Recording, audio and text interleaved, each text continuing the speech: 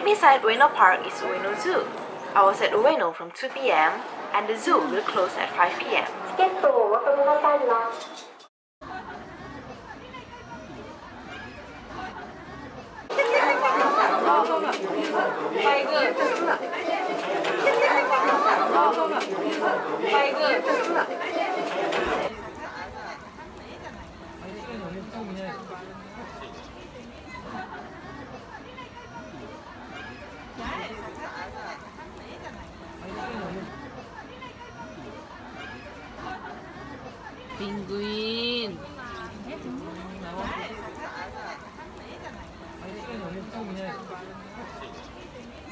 My favorite was the gorilla.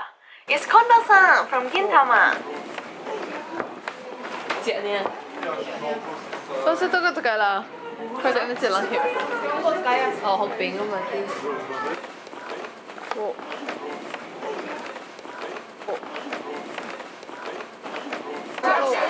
哦。哦。对，呢个白海。呢个白海。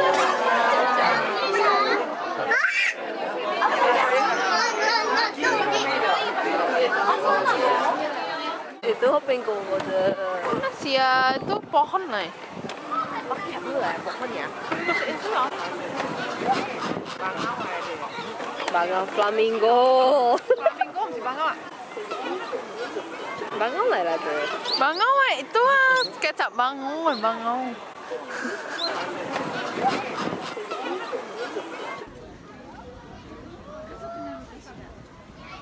Again, I didn't get to look at everything due to the closing time.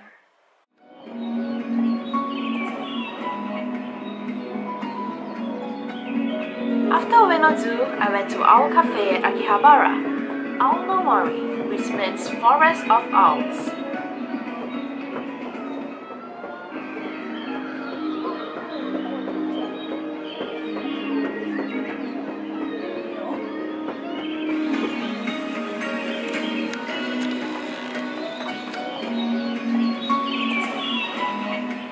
I decided not to go for any cats or dogs cafe because there are cats and dogs cafe in Singapore that I went before.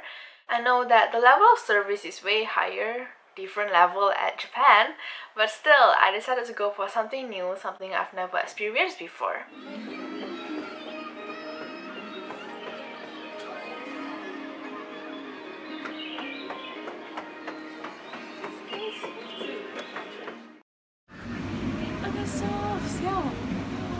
I'm honestly not good with animals, but I was less scared as I thought I would, as expected of Animal Cafe. Fee. Then I went to see my kind. Rabbits! The Rabbit Cafe definitely gave me more impression because rabbit is one of my most favorite animal. The place is actually very small, like I think it will be very cramped if there are 50 people inside plus 2 workers. The place were divided into 3 parts where 4 rabbits were placed at each parts. So in total there were 12 rabbits, well some were in the cage when I was there. And there are actually partitions to separate each parts and we are not allowed to carry the rabbit from one part to another because some of them don't bond well. We were given rabbit's food at the entrance, so automatically the rabbits were attracted to us.